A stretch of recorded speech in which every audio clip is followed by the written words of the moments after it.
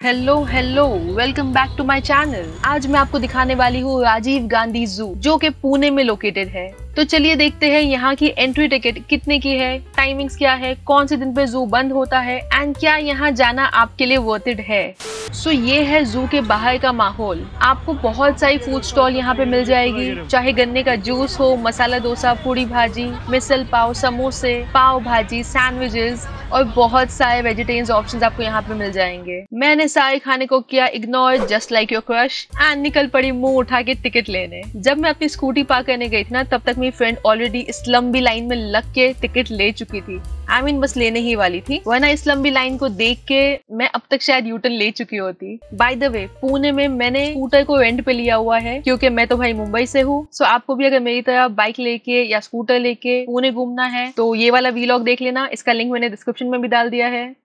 Enter होते के साथ ही मुझे कुछ दोस्त दिखाई दिए मतलब मंकीज और सामने है स्नेक पार्क। इस जू का टिकट प्राइस है फोर्टी रुपीज़ एंड बच्चों के लिए सिर्फ़ दस रुपए है। अपने साथ अगर आप वीडियो कैमरा अंदर लेके आना चाहते हो चाहे गोप्रो हो चाहे कोई भी कैमरा क्यों ना हो आपको देने पड़ेंगे दो सौ रुपए एंड फोटोग्राफी के लिए ओनली फिफ्टी रुपीज़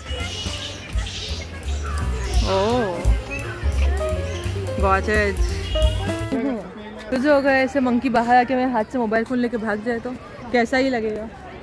फिर मैं ऐसे पेड़ के ऊपर दिखूँगी और वो मेरी फोटोग्राफी करेगा।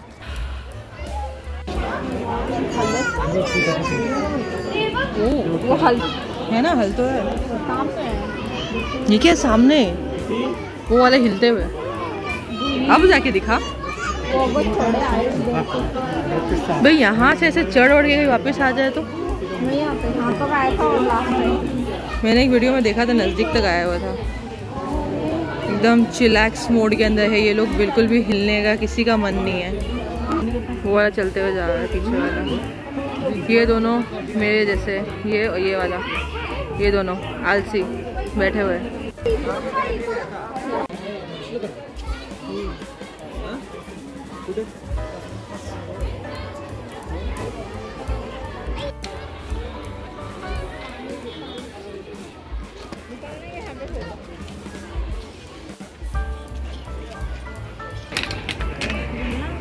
क्या हुआ?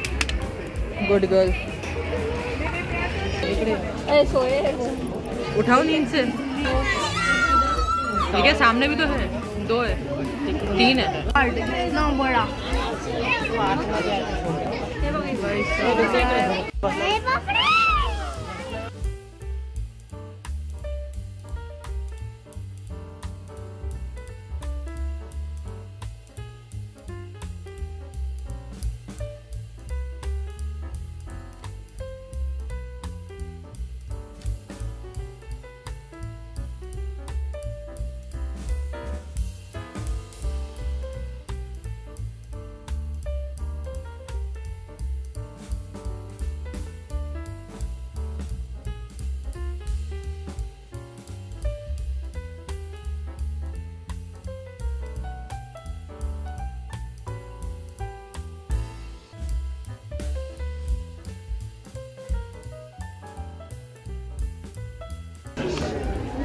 क्या है अंदर ओ माय गॉड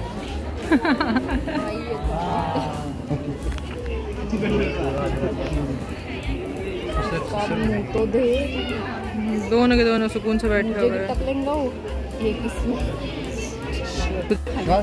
एक टाइम पे दोनों को खाएगा।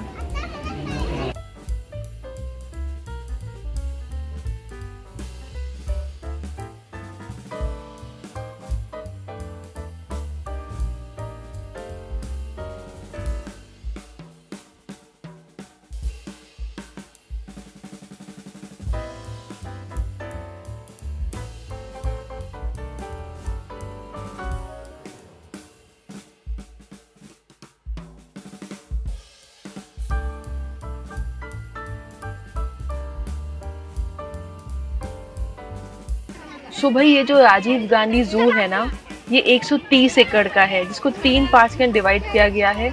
एक तो है एनिमल ऑर्फनेज एक है स्नेक पार्क एंड एक है प्रॉपर जू